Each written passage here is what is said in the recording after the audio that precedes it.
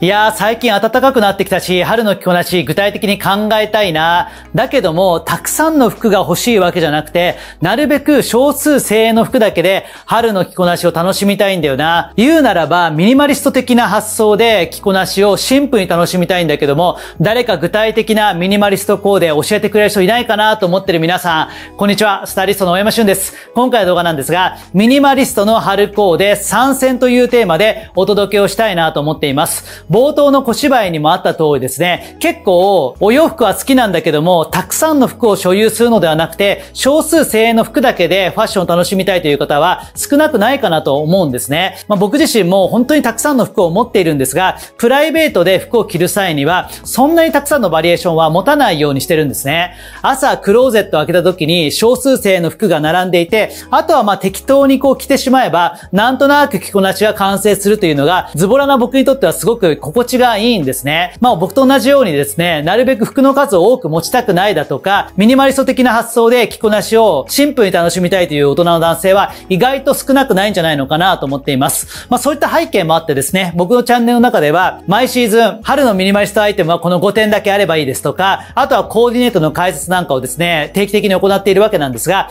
今回はそちらの春バージョンということで、具体的なミニマリストコーデを3つご紹介したいなと思っています。まあミニマリストの方も、ミニマリスト志向の方も、これからだんだんお洋服の数を減らして、少数精鋭で楽しみたいと思う方も、ぜひ今回の動画参考にしていただきたいなと思っています。で、結構ミニマリストの着こなしって、黒一色だとか、同じような着こなしになりがちだったりするので、なるべくお洋服の点数は少なめにしていきたいなと思ってるんですが、その中でも見え方がですね、ちゃんと異なるように3パターン作りたいなと思っていますので、よかったら今後の参考にしていただきたいなと思っています。こちらのチャンネルでは大人男性に向けて、メンズファッションの基本ですね、なるべくわかりやすく解説をしていますので、よかったらチャンネル登録やグッドボタンの方もよろしくお願いします。それでは早速、行ってみましょうはい、ということで、ここからですね、具体的にミニマリストの春コーデをですね、3つ皆さんにご紹介したいなと思ってるんですが、まず1つ目のコーデはですね、今僕が着ているですね、ちょっとライトな丈のアウターですね、ワークジャケットだとか、もしくはカバーオールと言われるようなジャンルのものをですね、メインとした着こなしを組んでみました。まあ僕はですね、このようなアイテムがすごく好きで、結構ですね、いろんなものを持っているんですが、まあその中でも今回は、スティルバイハンドというブランドのものをですね、着ました。丈感で言うとですね、このようなワークジャケットっぽいものって、お尻のほとんどが隠れるぐらいの長さがあるので、G ジャンだとか MA1 に比べるとちょっと大人っぽい雰囲気になるんですね。かといってステンカラーコートとかに比べると、割と丈はですね、スッキリとしてるので、気軽に羽織りやすいんですね。なので結構ミニマリストのライフスタイルにも合ってるのが、こういったカバーオール系のアイテムになってくるかなと思います。まあ同じものを揃えるのはなかなか難しいかなと思うので、代用できるもので言うとですね、このようなユニクロ U の UT t オーバーサイズシャツですね。このあたりがすごく近しいアイテムかなと思います。もうちょっとライトな風合いになりますが、色合いに関してもすごく似てるので、こういったもので代用してもらうだとか、あとはデニムのカバーオールですね。このあたりも同じように使うことができるかなと思います。まあ、デニムのカバーオールにしても、このようなシャツにしてもですね、季節感で言うと、春にも使えるし、秋にも使えるんですね。そういった意味では、アイテムの点数をそんなに多くしなくていいので、1枚あるとすごく便利なのかなと思います。そして、その内側はですね、今回は、ボーダーのカットソーを取り入れています。まあ、これもですね、ちょっとこう動きを出すにはすごく良くて、ミニマリストの着こなしって結構シンプルになりがちなんですね。どうしても単調に見えてしまうので、そこにちょっとこういったボーダーのカットソーを入れるだけで動きを出すことができるので、まあ、ぜひ皆さんも1枚持っておくと便利なのかなと思います。ユニクロ U のエアリズムコットンオーバーサイズクルーネック T シャツのマイクロボーダー柄ですね。このあたりで代用するとすごくいいかなと思うので、まあ、ぜひ皆さんも揃えていただきたいなと思っています。ますで、ボトムスは相変わらずブラックですね。ミニマリストの着こなしであれば、このようなブラック系のパンツは1本あって、まず間違いがないかなと思います。まあ、シルエットで言うと、ちょっとゆとりがあった方が、ミニマリストのライフスタイルには合うかなと思うので、ユニクロのタックワイドパンツのブラックとかで、コーディネートを作ってみると、すごくバランスがいいんじゃないのかなと思います。そして足元なんですが、今回は3つの着こなしすべてにこれを使おうかなと思います。スニーカーもたくさんバリエーションあった方が、着こなしを楽しみやすいんですが、が、まあ、あえて今回は1個に絞ろうということで、サロモンのですね、XT6 というモデルをですね、今回は用いるようにしました。僕もこれ履いて3年ぐらい経つんですが、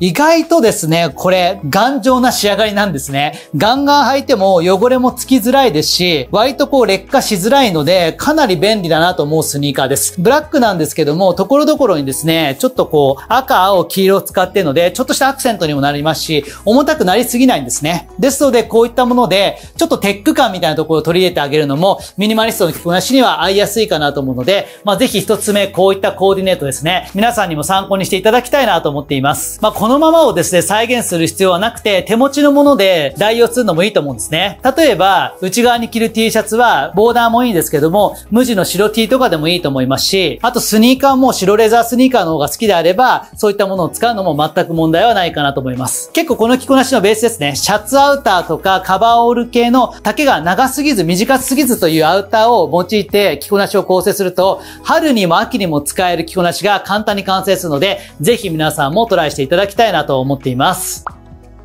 はい、続いて二つ目の着こなしなんですが、先ほどよりはちょっとスポーティな雰囲気を作ってみましたが、いかがでしょうか？まずベースになるですね、ボーダーの T シャツは先ほどと全く同じものを使っています。ボーダーの T シャツって結構ですね、僕の中ではマイブームで何枚か持っているんですが、着こなしの中でちょっとしたアクセントになるので、先ほどのようなシャツアウターみたいなものにも相性がいいですし、今僕が着ているようなちょっとこうナイロンジャケットっぽいフード付きのアウターですね。スポーティなものにも相性がいいので、まあ、ぜひ皆さんも合わせてみていただきたいなと思っています。上半身はブラックのアウターということで、季節感そこまでですね、関係なく使うことができますし、これまたですね、春にも使えて、秋にも使えるので、意外と着用できる季節が長いので、使い勝手がいいんじゃないのかなと思っています。これはちょっと私物のもので、スティーバーナンというブランドのものになるんですが、これは僕がいつも皆さんにご紹介してるですね、ノースフェイスのコンパクトジャケットだとか、ハイドレなウウィンドジャケットだとか、そのあたりで代用していただくのもいいかなと思います。フードがつくだけでちょっとスポーティーな着こなしになるので、アウターとしてはすごく使い勝手がいいかなと思うので、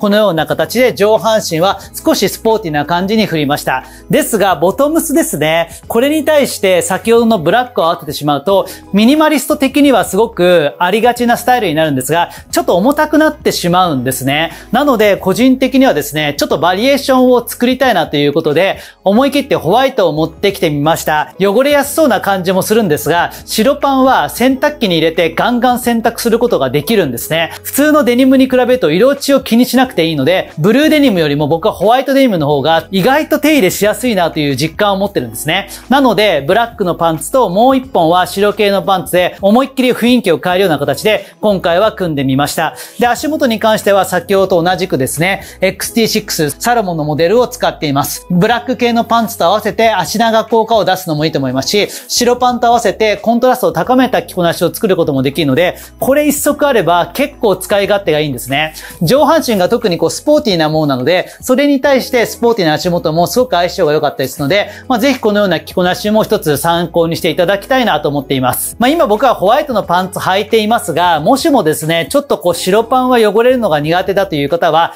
グレー系のパンツですね。ちょっと持ってきますね。このようなグレー系のパンツを合わせてあげても相性がいいので、このあたりはお好みだとか、ライフスタイルに合わせて選んでいただきたいなと思います。個人的には、やっぱりミニマリストの着こなしって単調になりがちかなと思うので、ブラックのパンツでベースを作ったら、ちょっと思い切って気分を変えるホワイト系のパンツですね。そういったものがあるとすごく便利かなと思うので、よかったら使ってみていただきたいなと思います。今僕が履いてるのは自分のところのですね、ホワイトパンツなんですが、もうちょっと手軽に買えるとこで言うと、ユニクロの今季のアンクル丈のですね、ワイドフィットのデニムがすごく使いやすいかなと思うので、ぜひ皆さんですね、それらのアイテムでコーディネート構成してみていただければなと思っています。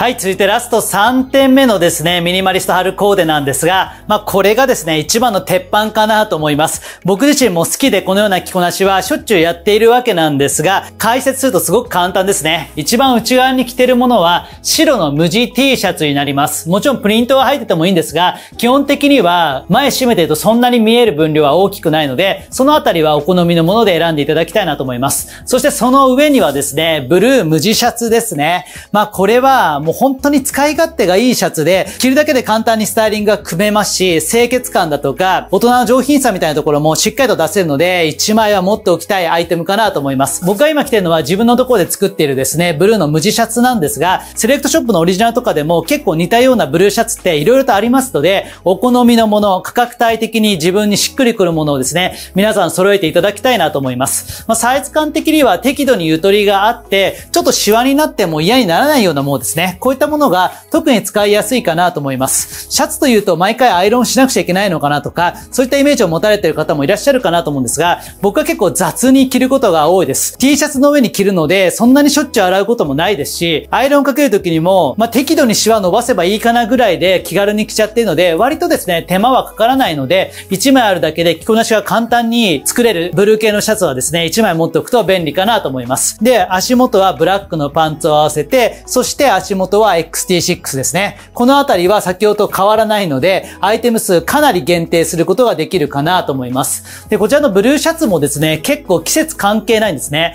特にコットン系のシャツに関しましては、春も使えるし、まあ真夏はさすがに暑いかなと思うんですが、秋も使えて、なおかつ冬もですね、この上に重ね着をすることで使うことができるので、アイテムの点数を減らしながら様々な季節に使うことができるので、そういった点でもすごく使いやすいかなと思います。そしてブラックのパンツなんですが、僕はですね、生地の特徴として薄すぎず厚すぎないものを選んでるんですね。これなぜかというと、ほぼオールシーズン使いたいからなんですね。秋冬のちょっとこう、暖かい素材のものだとか、春夏のすごい薄いやつもですね、持っておくと便利なんですが、そうするとアイテム数が結構増えてしまうので、ちょうど3シーズンぐらい使えるような素材感の、あまり季節に特化してないようなブラックのパンツの方が結構使いやすいかなと思うので、まあ、ぜひそういったものを皆さんも一本揃えていただきたいなと思っています。ちなみに今回はですね、白 T を着ていますが、先ほどまで着ていたボーダー T シャツに変えてあげてもまた雰囲気も変わりますし、パンツブラックですが、これをホワイトにしてあげてもだいぶ印象変わるんですね。あとはボタンですね。これをもう一個開けてあげると少しカジュアルな雰囲気になったりだとか、あとは全部開けて羽織物感覚にしても見え方変わるんですね。ちょっとやってみますね。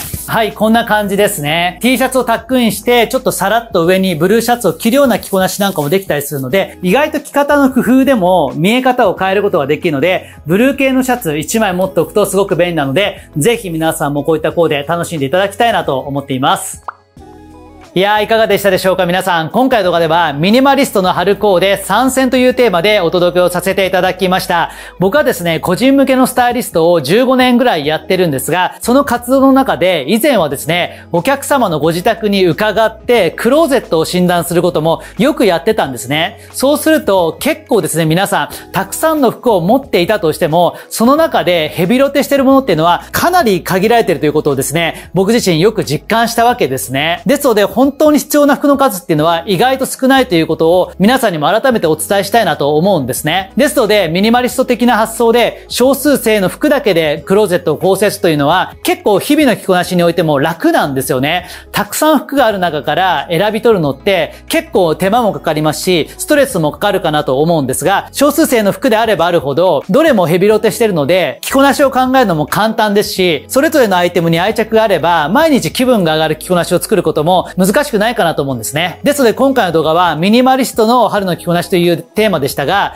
まあ、ぜひですね、いろんな服を持っていて結構日々の着こなしに悩んでしまう方は、まずは断捨離をして少数性の服だけを残すというところにフォーカスしてみるのもいいかなと思います。その上でもですね、今回ご紹介した3つの着こなしですね、それぞれまた個性が異なるような着こなしができたかなと思います。そしてこの着こなしというのは春だけではなくて秋にも使うことができたりするので、そういった意味ではアイテムの点数をそこまで増やさなくても様々な季節に応用できるかなと思うので、よかったら今後の着こなしの参考にしていただければなと思っています。これからもこちらのチャンネルでは大人の男性に向けて、メンツファッションの基本ですね、なるべくわかりやすく解説をしたいなと思ってるんですが、普段の動画の中ではなかなかお伝えできないような、セレクトショップのオリジナル、まあ、ちょっと価格帯が中価格帯以上のものですとか、ドメスティックブランド、またはちょっと通向けの専門ブランドに関しましては、僕はもう一つ運営してます、YouTube のメンバーシップチャンネルの方で詳しめに解説をしています。週に2本のオリジナルの動画と、それに加えて週に1本ですね、ライブ配信もやっていまして、皆さんからいただいたご質問に直接お答えする形で、ワイワイ楽しくやっていますので、気になる方はですね、こちらの動画の下の概要欄の方からチェックしていただきたいなと思っています。また、普段なかなかですね、ゆっくりと動画を見る時間がない方のために、